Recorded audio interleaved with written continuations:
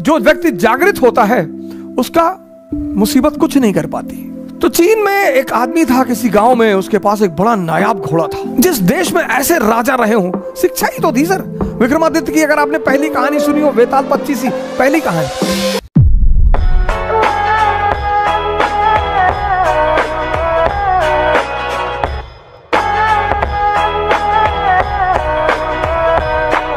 तो मैं वो कहानी सुना रहा था कि कैसे जो व्यक्ति जागृत होता है, उसका मुसीबत कुछ नहीं कर पाती। बहुत बड़ा नियम है जागृति, सर। होश में रहना बहुत बड़ा नियम है। तो चीन में एक आदमी था किसी गाँव में, उसके पास एक बड़ा नायाब घोड़ा था। बहुत नायाब। मतलब हवा से ज़्यादा स्पीड थी घोड़े की। तो उस देश के राजा ने उस आदमी को बुलाया, कहा, तुम अपना घोड़ा मुझे दे दो। तुमको मैं मुँह मांगी कीमत दूँगा। साधनी ने कहा कि सरकार घोड़ा तो ना बेचेंगे। अरे लोगों ने समझाया कि पागल हो, तुम क्या करोगे घोड़े का? और इतना पैसा राजा तुमको दे रहा, बेच दो। अरे उसने कहा, यार तुम लोग क्यों मेरे पीछे पड़े हो? जाओ अपना काम करो। हम नहीं फ़ायदा ले रहे ना, जाओ। एक दिन क्या हुआ? घोड़ा भाग गया। अब जब घोड़ा भाग गया तो गाँव के लोग आए, हंसने लगे। कहीं, देखा, हम तुमसे पहले ही कहते थे, तुम समझे नहीं रहते हमारी बात को। अरे उसने कहा, बड़े भाई, घटना सिर्फ़ इतनी है कि घोड़ा भाग गया है, बस। इसमें ज़्यादा चिंता करने की बात नहीं है। वो चला गया तो चला गया, मैं क्या करूँ? अजीब पागल हो, तुम्हारा नुकसान हो गया? बोले, कोई नुकसान नहीं हुआ। दस पंद्रह दिन बीता, एक दिन घोड़ा वापस आ गया और अपने साथ बीस घोड़े और लाया अपनी तरह के। गाँव वाले फिर आए। कहीं, बेटा, तुम बहुत चालाक आदमी हो। तुमको पता था कि कुछ कांड करने गया है ये। बड़ा बढ़िया यार, तुम तो बड़े फ़ायदे में हो यार। पहले तो अकेले था, अब तो बीस ले आया।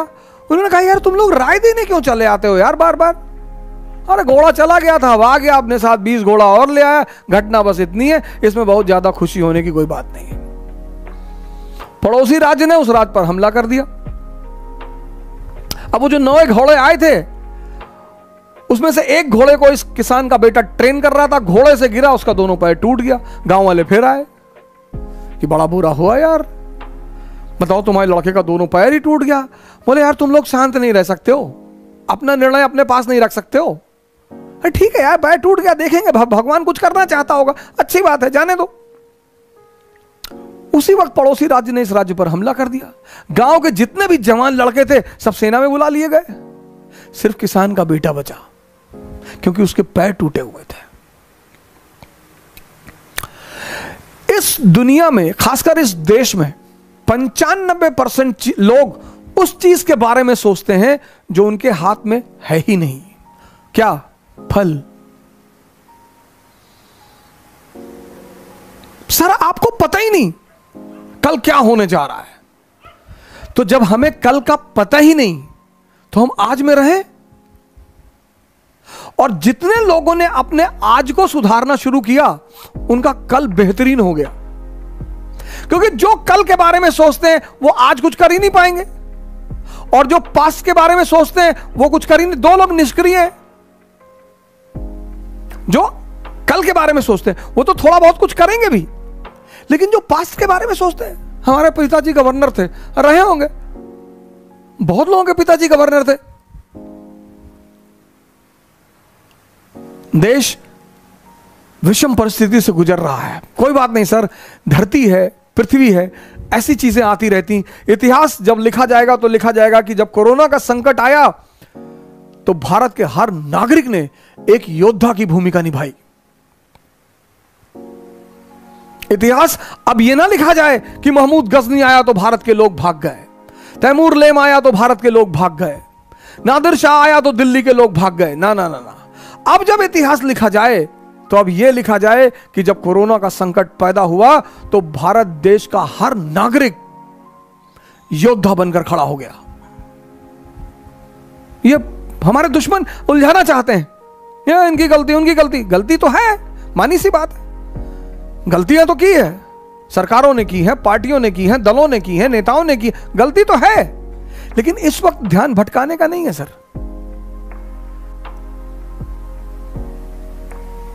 जिस देश में ऐसे राजा रहे हो, शिक्षा ही तो थी, सर। विक्रमादित्य की अगर आपने पहली कहानी सुनी हो, वेताल पच्चीसी पहली कहानी। पहली कहानी विक्रमादित्य जाता है। सोचिए, क्या शिक्षा देने का तरीका था हमारे देश में? कहानी सुनाकर संदेश देना। उस देश में ऐसी किताबें छपने लगी जिनसे कोई मतलब ही नहीं। किताबें तो किसी को भी महान बना दे, बशर्ते वो आपसे बात करने लगे। किताबें जल्दी किसी से बात नहीं करती, सर। पढ़ते बहुत लोग हैं। बात वो दुनिया में बहुत कम लोगों से करती हैं। बोलती हैं किताबें, सर। और एक बार किताबें आपसे बात करने लगी, कंडीशन क्या है? किताब आपसे बात करेगी, मन शांत हो जाए। जैसे आप किताब पढ़ रहे हैं और आपका पीछे का मन बड़बड़ा रहा है, कहीं और बैठा हुआ है, तब वो आपसे, आप, वो समझ जाती है कि आप मेरे पास है ही नहीं, आप तो कहीं और बैठे हैं। इतनी सेंसिटिव होती हैं किताबें। इसीलिए भारत देश में हम जब किताब से पैर लग जाता है तो हम उसे उठाकर अपने मत्थे पे लगाते हैं। इसका भी मज़ाक उड़ाया गया। इसका भी मज़ाक उड़ाया गया यार, तुम लोग तो किताब उठा के सर से लगाते हो। बिल्कुल, सर। जिससे किताबें बात करने लगे और एक ही शर्त है किताबों की बात करने का। अगर आपका मन शांत है और आप सिर्फ़ उन्हीं से बात कर रहे हैं, तब वो आपको जवाब देंगी पलटकर। और अगर आपका मन शांत नहीं है, आप पढ़ते रहिए जितना आपको पढ़ना है। एक लाइन। कई बार मेरे पास स्टूडेंट आए एनसीआरटी को चार बार पढ़ के रंग चुके हैं। नीले रंग से पीले रंग से लाल रंग से रंग चुके हैं। लेकिन पता कुछ भी नहीं। लेकिन हमारी जो शिक्षा पद्धति थी, कहानी कहानी। विक्रमादित्य जाते हैं, बरगद के पेड़ पर एक लाश को उतारते हैं, अपने कंधे पर रखते हैं। तो लाश उन्हें कहानी सुनाना शुरू करती है। अब सोचिए सर, इस कहानी का मकसद क्या है? सुनिए कहानी और उसका मकसद। लाश उन्हें कहानी सुनाना शुरू करती है कि एक आचार्य थे, उनकी बड़ी खूबसूरत सी बेटी थी। आचार्य के तीन शिष्य थे। अब देखिए, क्या तरीका था पढ़ाने का, संदेश देने का? ये पश्चिम के लोग कहते, तुम लोगों ने सिर्फ़ कहानियाँ लिखी। उन कहानियों में बाबूजी ऐसी ऐसी बातें लिख दी है ना, कि समझ जाओगे तो ज़िंदगी बदल जाएगी। इतने अमीर हो, इतना समृद्धि, भौतिक समृद्धि पा चुके हो, लेकिन ध्यान करने भारत ही आते हो। बाबा रामदेव जी को मैं बड़ा प्रणाम करता हूँ, बड़ी मैं उनकी इज़्ज़त करता हूँ। और जब भी मैं उन्हें देखता हूँ इंग्लैंड में, अमेरिका में बैठे हुए अंग्रेज़ और उनको वो कपाल भाती करा रहे तो मुझे इतनी हँसी आती कि जय हो बाबा की। बाबा सांस बेच रहा है। तुम तो कपड़ा बेचने आए थे, तुम तो कुछ भी बेचने आए थे। बाबा सांस बेच रहा प्रोडक्ट दिखाई ही नहीं पड़ता। बाबा हमारा बहुत बड़ा बिजनेसमैन है। सांस कोई कमोडिटी ही नहीं है, बेच रहा है। और हम हिंदुस्तानी, हम उनका मज़ाक उड़ाते हैं। आप उनसे असहमत हैं, वो एक अलग बात है। हो सकता है आप उनकी राजनीतिक विचारधारा से असहमत हो। बहुत अच्छी बात है, सर। मैं आपसे बार बार कहता हूँ कि मतभेद का मतलब मनभेद कभी नहीं होता, सर। आप में से बहुत सारे घरों में आप नॉनवेज खाते हैं, आपकी माताजी नहीं खाती, आपके पिताजी नहीं खाते। तो इसका मतलब दुश्मनी, सर? बिल्कुल नहीं। दुश्मनी जब भी होगी तो जब इंटरेस्ट खतरे में पड़ेगा, तब दुश्मनी होगी। बेवकूफ़ जो है, जो बेवकूफ़ है समाज में, वो मतभेद पे मनभेद कर लेता है कि ये मस्जिद में जाते हैं। अरे तो पूजा करने जा रहा है ना? ये मंदिर में जा रहे हैं। जाने दो।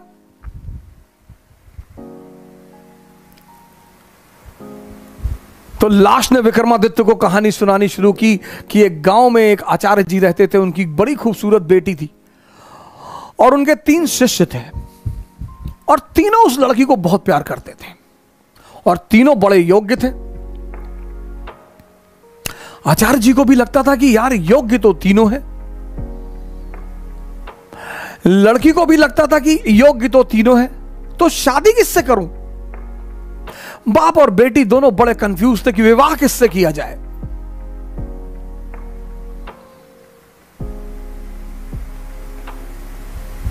और जब लड़की यह सुनिश्चित नहीं कर पाई कि विवाह किससे किया जाए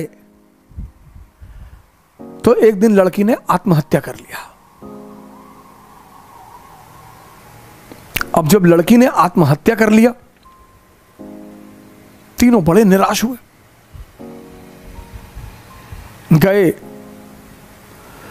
उसका दाह संस्कार किया तो एक शिष्य तो तुरंत तुरंत सन्यासी बन गया। वहीं धूनी लगा ली उसने उसकी कब्र के पास कि बस।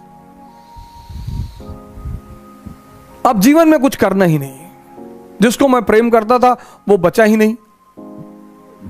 तो अब जीवन में कोई सार नहीं।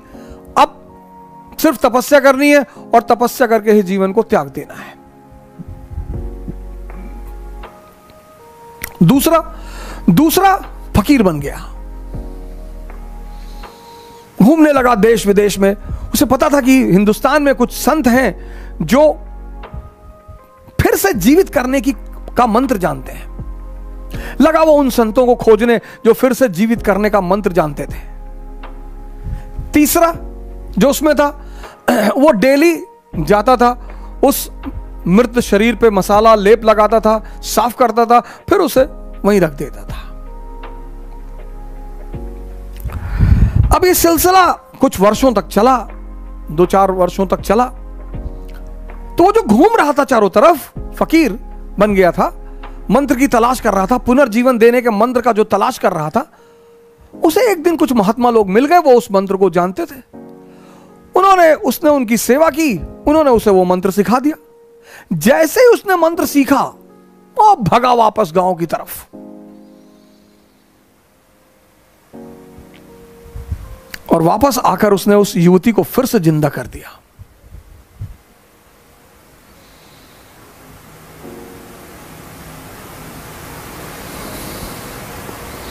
जब उसने फिर से ज़िंदा कर दिया, तीनों दावेदार फिर खड़े हो गए और अब तो युवती और सुंदर हो गई।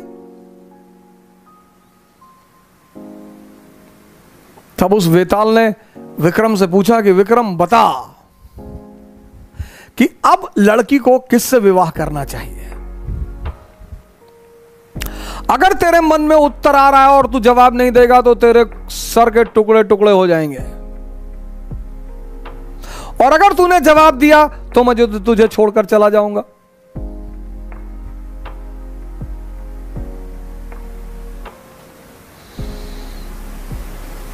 वेताल ने कहा कि अगर तूने, अगर तेरे मन में जवाब आ रहे हैं और ये नेचुरल प्रकृति है। हमारे सामने जब भी कोई परिस्थिति होती है, एक सवाल, एक जवाब मन में आता कि ये कर ले यार। नेचुरल प्रकृति है नेचुरल जवाब आना ही है। तो विक्रम, बेताल ने कहा कि देख विक्रम, अगर तेरे मन में जवाब आ रहा और तूने मुझे नहीं दिया तो तेरे सर के टुकड़े टुकड़े हो जाएँगे। और अगर दे दिया तो मैं चला जाऊँगा।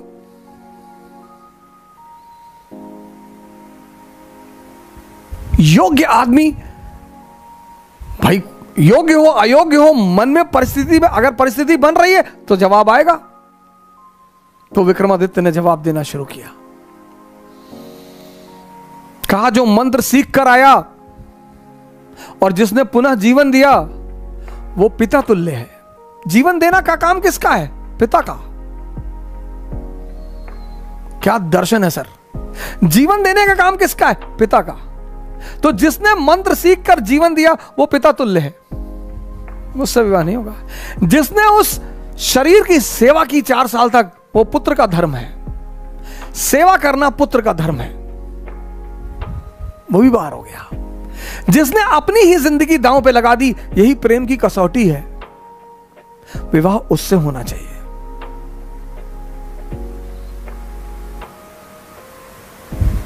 यह था शिक्षा देने का तरीका।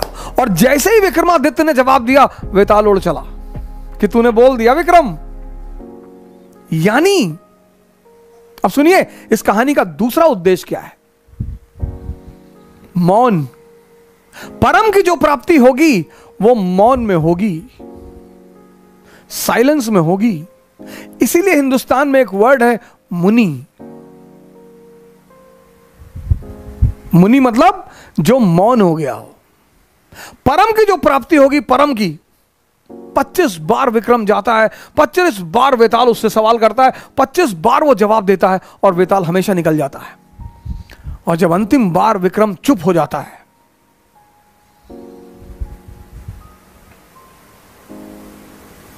यह थी भारत की शिक्षा पद्धति। मैंने कहा ना, अगर आप पीछे पलट कर देखें भारत के इतिहास को तो कभी कभी आपको लगा कि यार, इतने महान लोग कैसे पैदा हो? तब तो यार ये, कोठारी इंटरनेशनल नहीं था। तब तो रियान इंटरनेशनल नहीं था। गाँवों में गाँवों में गाँवों में जो स्कूल खुलते हैं, मैं गोरखपुर जा रहा था, गोंडा से तो रास्ते में कस्बा पड़ा तो वहाँ पे स्कूल का नाम मैंने पढ़ा, वास्को डिगामा इंटरनेशनल स्कूल।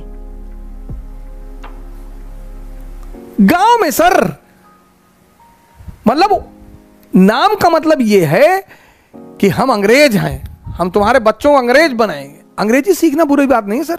किसी भी भाषा को सीखना बुरी बात नहीं है। लेकिन अपनी संस्कृति को समझे बिना, अगर हमारी देश की पचानबे परसेंट जनता ध्यान और योग कर रही होती ना, सर, कोरोना कुछ नहीं कर पाता। लेकिन हमने तो मज़ाक उड़ाया, सर।